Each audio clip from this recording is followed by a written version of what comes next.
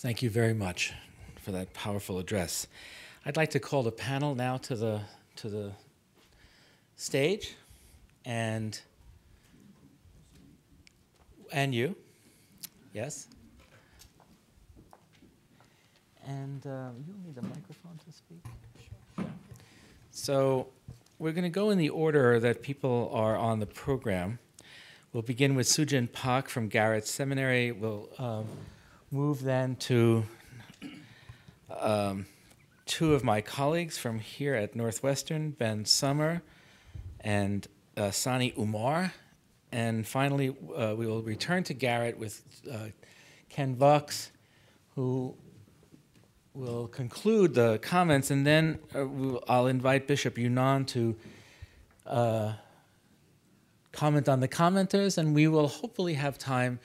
In fact, I know we will have time to uh, open this up for all of you for comment and, uh, and questions. So, uh, Sujin, would you like to?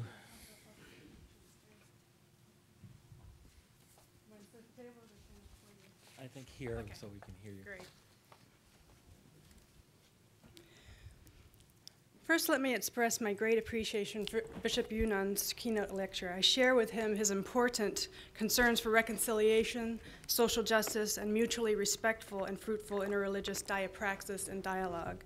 I also appreciate his concise and informative history of Luther's statements concerning Jews and Islam, and his helpful history of the Lutheran Church's responses and actions to address that mostly negative, those mostly negative histories, and to seek repentance and respectful affirmation of the faiths of Judaism, Islam, and other religions as well.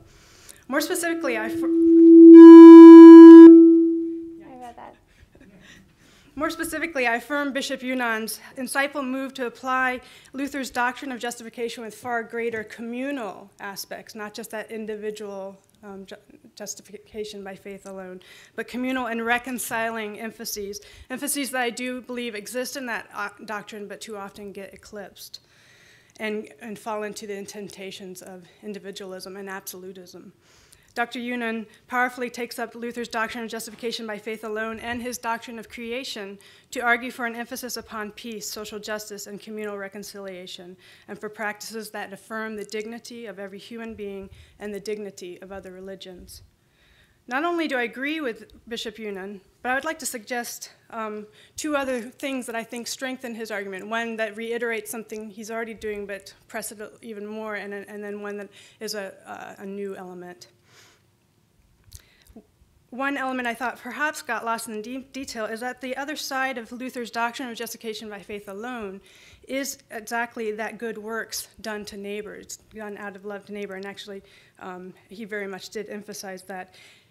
As many of you may know, Luther wanted to be known as the doctor of good works. That's how very important the good works are to his theology, to his life, and his thought. One might ask then, well, who is your neighbor, Luther? Who is one's neighbor according to Luther? Is it just a fellow Christian? And I think that it, a reading of his works, and particularly The Freedom of a Christian, where this really starts to come out, um, really does have the possibilities, real possibilities, that he's not just talking about fellow Christians, although he may especially be talking about fellow Christians, but, some, to, but to all that one encounters. Indeed, Luther is clear that as Christians, this very love of neighbor expressed in good works to neighbors is the very essence of a fruitful witness of Christ. As Luther puts it, and I quote, each one should become, as it were, a Christ to the other. Thus, when Luther is at his best, he advocates this love of all neighbors and good works to all neighbors as the very foundation of a Christian witness. Secondly, I think there is another significant core principle of Luther's theology that's helpful in furthering a Christianity that better affirms the dignity of all humans and the dignity of other religions. Namely, this is his very prominent theme concerning the hiddenness of God. Now, we've addressed this theme a couple times in this conference thus far, mostly negatively, and I'm going to give a positive spin on it and, and, um, and tell you why I think it's helpful. It's a constant theme in his theology throughout his life, from his first lectures to his uh, on, on Psalms to his very last commentary on Genesis. And my understanding of the, this theological theme in Luther is that it has two basic functions. First, it's a tool that Luther uses to give a message of hope. The hidden God is a God who appears to be stern and punishing toward us, but in actuality is a God of mercy. Luther explains a key example of this merciful God in his explanation of the story of the Canaanite woman. If you remember the story of the Canaanite woman, the woman says, Jesus, Jesus, will you come, come answer me and come heal my daughter? And Jesus says to her, um, I've only come to the lost sheep of Israel, and is it fair to take the children's food and throw it, throw it to the dogs? And then she says, Well, don't even the dogs get to have the crumbs under the table? And Luther uses this as a picture of the hidden God, that though God may appear stern and punishing and have a no to you in, in appearance, that actually he applauds this woman for grasping the eternal yes behind that no, that apparent no.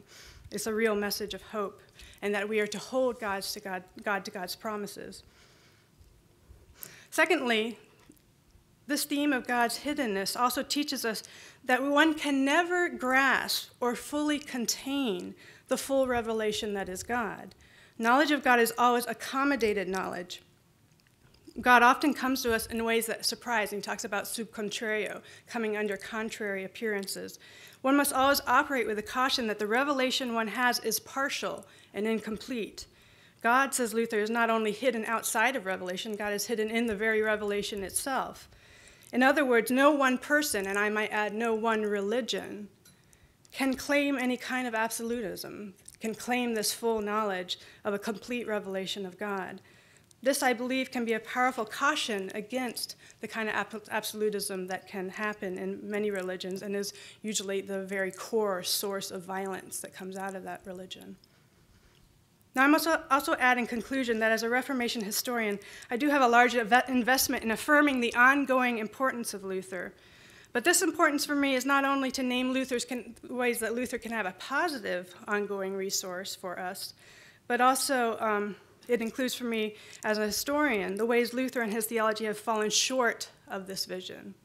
In other words, the history of Luther's views of and practices towards Jews and Muslims can also teach us possible pitfalls and things to be avoided. Luther's beliefs and practice were deeply shaped by his medieval context. Thus, in his day, he could actually understand love of neighbor to include the need for execution of false heretics, teachers, Jews, or Muslims, as actually a way of protecting your fellow Christian and as a way of loving your neighbor, your fellow Christian, and even as loving the, the um, person who commits the sin by naming, helping them recognize their sin this is a whole different world than what, what we're used to. And so I mean to say, Luther himself failed to live up to the very full potential power of his doctrines of good works done in love for neighbor and his teachings about creation and his teachings of the hiddenness of God. So let me offer four very, very briefly ways that I might use Luther to give warning concerning potential pitfalls. And in fact, I do this in my classroom all the time. And here I need to say that when I say we or us, I'm talking as a as a confessed Christian, and I don't, and I only include in the we and the us those who, who name themselves so. And first, Luther's example teaches us that we need to be critical readers of our surrounding culture. Luther's culture was one dominated by anti Christian and anti Muslim Jews, I mean, eh, anti Jewish and anti Muslim views, let alone the legitimacy of using violence to deal with so called offenders against the Christian faith.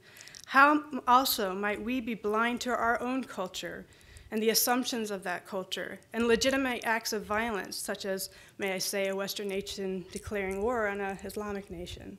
Or may I say also the use of torture to find information in the face of terror?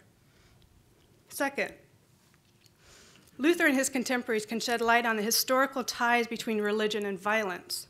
For example, as a Christian, I ask, what drives Christianity toward the temptation of absolutism?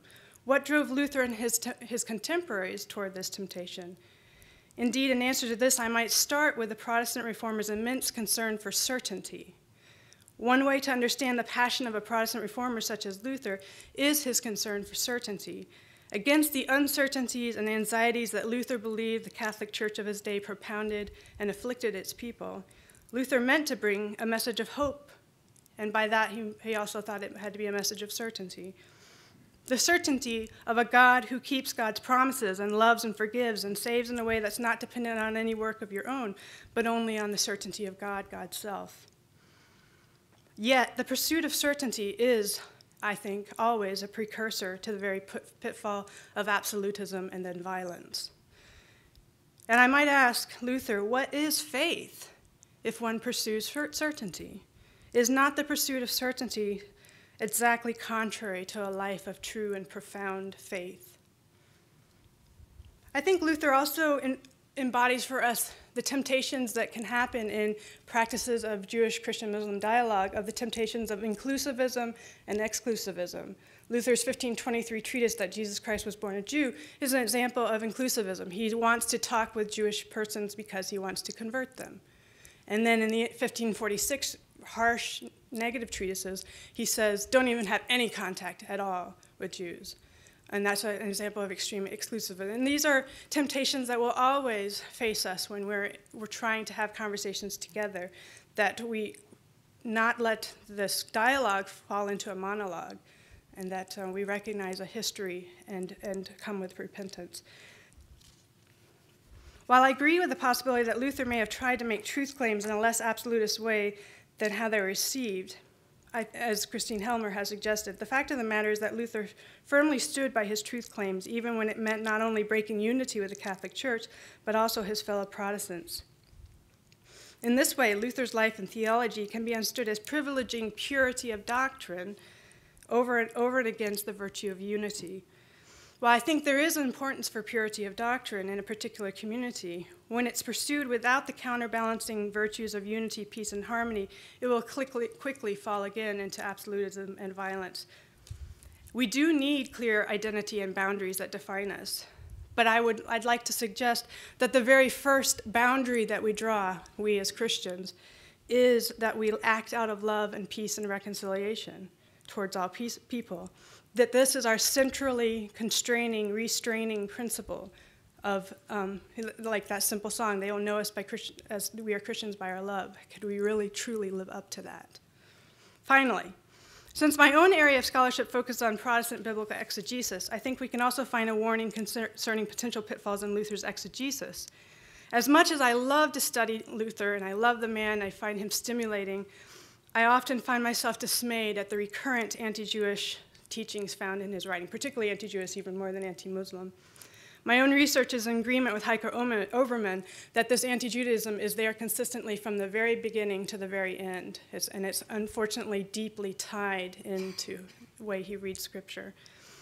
The warning I find here is the warning of the Jewish scholar Jules Isaac when he writes about the dangers of a teaching of contempt.